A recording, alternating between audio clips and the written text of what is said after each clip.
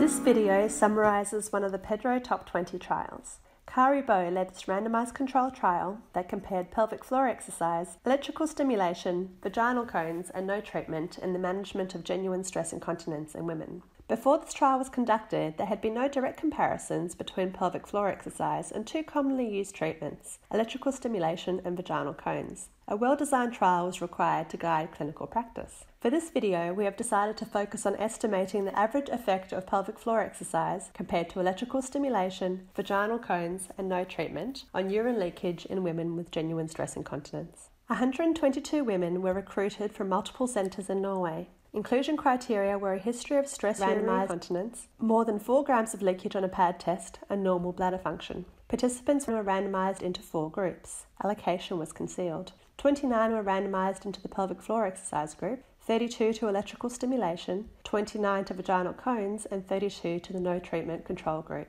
Pelvic floor exercise was performed in different positions. Maximal contractions were held for 6 to 8 seconds. 8 to 12 repetitions were done three times a day at home. Participants also attended a weekly group exercise class. Electrical stimulation was 30 minutes of intermittent vaginal electrical stimulation per day at an intensity to get a muscle contraction. Vaginal cones were used for 20 minutes per day, and the weight of the cones was progressed. The no treatment control group were offered instructions on the use of an incontinence guard and had no further physiotherapy contact. The primary outcome was the amount of urinary leakage after six months of treatment. This was measured by a pad test with a standardized bladder volume of 200 mils. Assessors were blinded to group allocation and analysis was by intention to treat.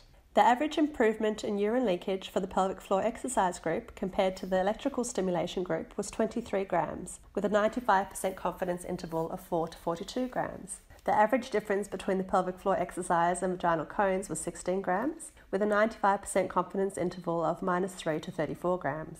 The average difference between pelvic floor exercise and control was 18 grams, with a 95% confidence interval of minus 2 to 37 grams. The minimal clinically important difference is 2 grams.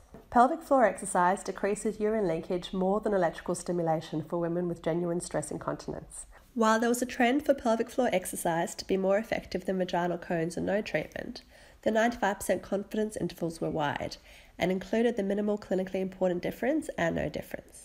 Subsequent research, summarised in the 2018 Cochrane Review by Dumoulin et al., has removed this uncertainty.